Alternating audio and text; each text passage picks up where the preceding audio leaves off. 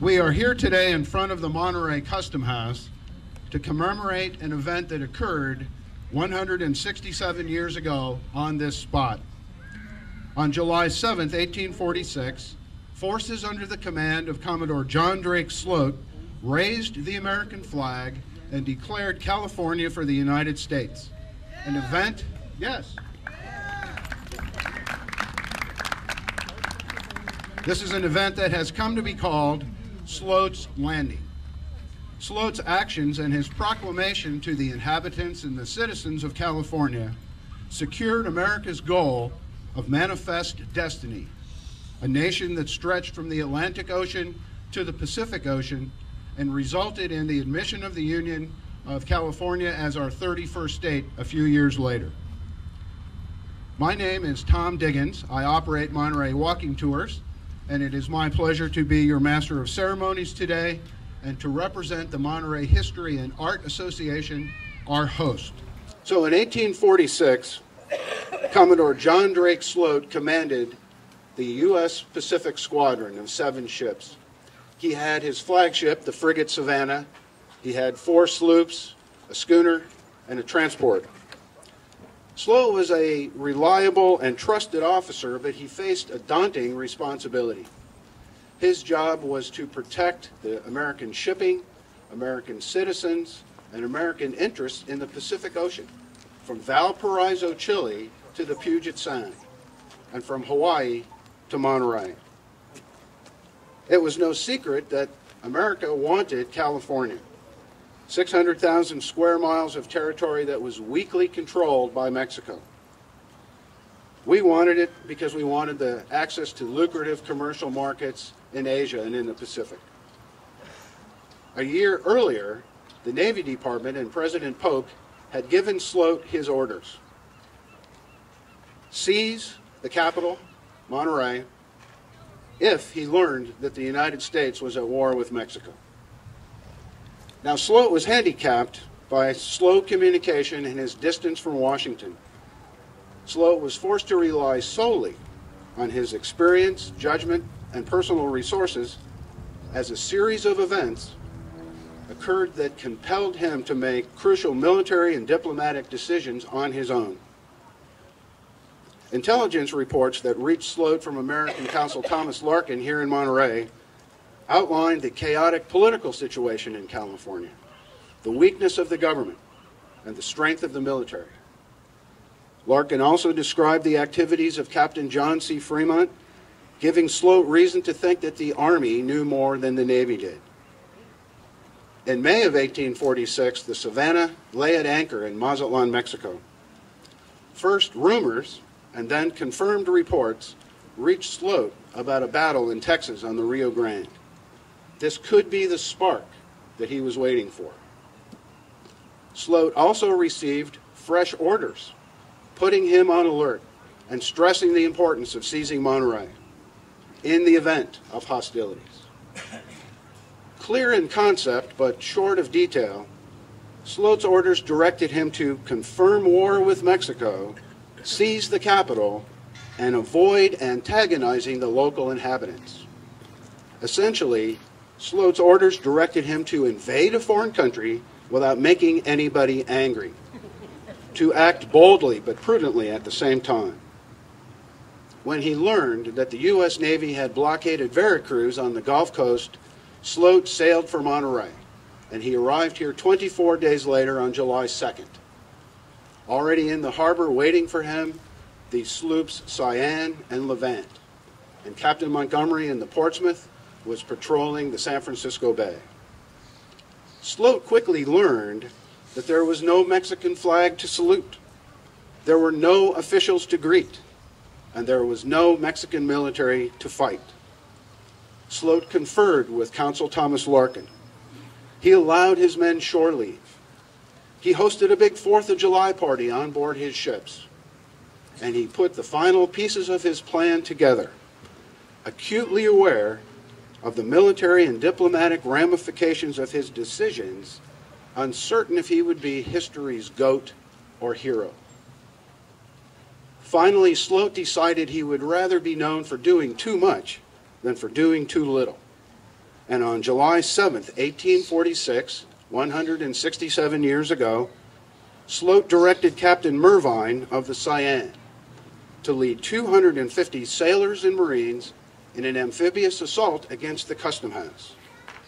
Under the cover of the American warships, Mervine quickly protected his beach and established a perimeter here.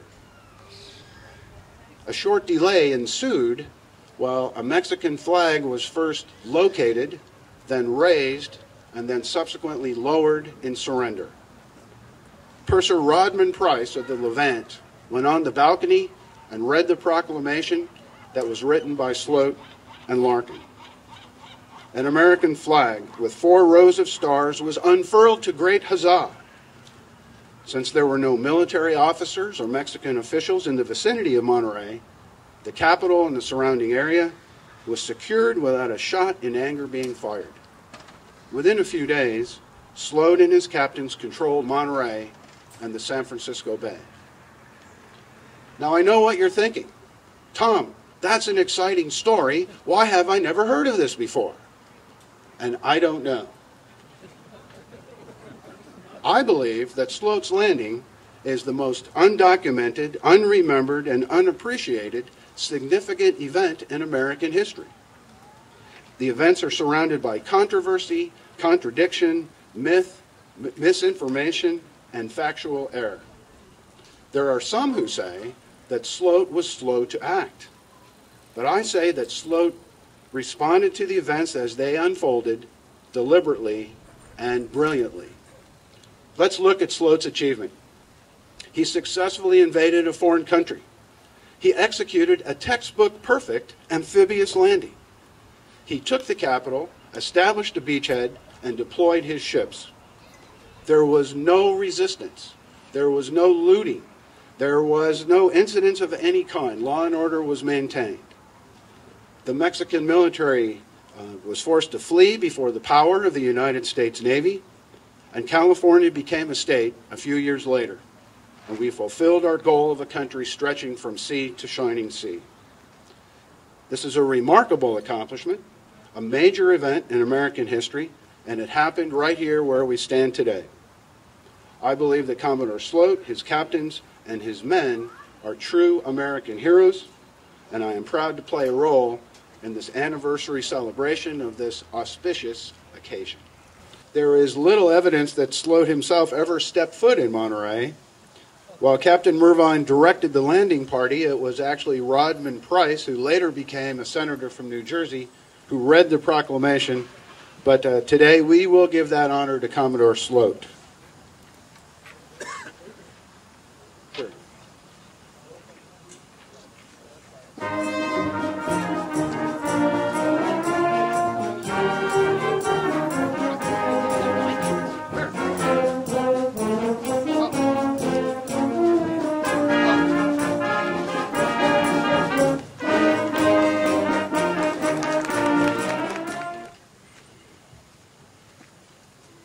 A proclamation to the inhabitants of California. The central government of Mexico, having commenced hostilities against the United States of America by invading its territory and attacking the troops of the United States stationed on the north side of the Rio Grande, and with a force of 7,000 men under the command of General Arista, which army was totally destroyed, and all their artillery, baggage, etc. Captured on the 8th and 9th of May last by a force of 2,300 men under the command of General Taylor, and the city of Matamoros taken and occupied by the forces of the United States, and the two nations being actually at war by this transaction. I shall hoist the standard of the United States at Monterey immediately and shall carry it throughout California. I declare to the inhabitants of California that although I come in arms with a powerful force, I do not come among them as an enemy to California. On the contrary, I come as their best friend, as henceforward California will be a portion of the United States, and its peaceable inhabitants will enjoy the same rights and privileges they now enjoy, together with the privileges of choosing their own magistrates and other officers for the administration of justice among themselves. And the same protection will be extended to them as to any other state in the Union. They will also enjoy a permanent government under which life, property, and the constitutional right and lawful security to worship the Creator in a way most congenial to each one's sense of duty will be secured, which unfortunately the central government of Mexico cannot afford them, destroyed as her resources are by internal factions and corrupt officers who create constant revolutions to promote their own interests and to oppress the people. Under the flag of the United States, California will be free from all such troubles and expense. Consequently, the country will rapidly advance and improve both in agriculture and commerce, as of course the revenue laws will be the same in California as in all other parts of the United States, affording them all manufactures and produce of the United States, free of any duty, and all foreign goods at one quarter of the duty they now pay. A great increase in the value of real estate and the products of California may also be anticipated. With the great interest and kind feelings I know the government and people of the United States possess towards the citizens of California, the country cannot but improve more rapidly than any other in the continent of America. Such of the inhabitants of California, whether natives or foreigners, as may not be disposed to accept the high privilege of citizenship and to live peaceably under the government of the United States, will be allowed time to dispose of their property and to remove out of the country, if they choose, without any restriction, or remain in it observing strict neutrality.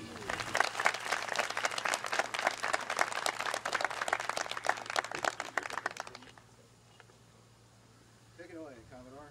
Hoist the colors!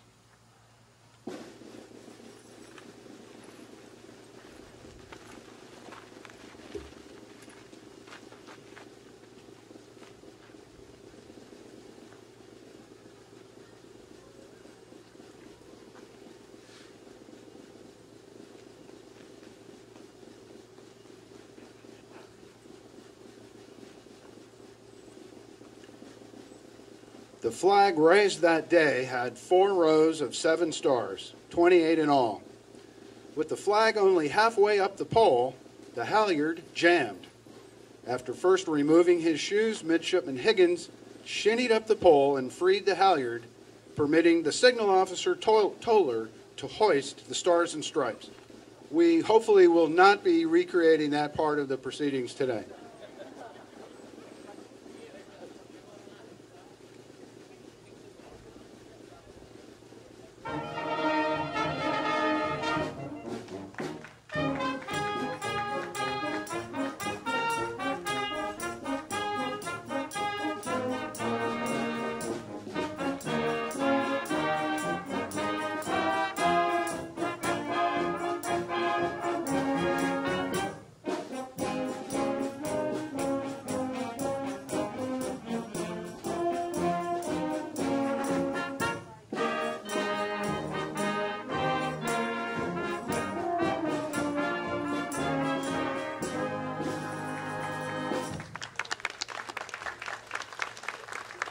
Thank you, Captain Hirsch Loomis, Commodore Sloat.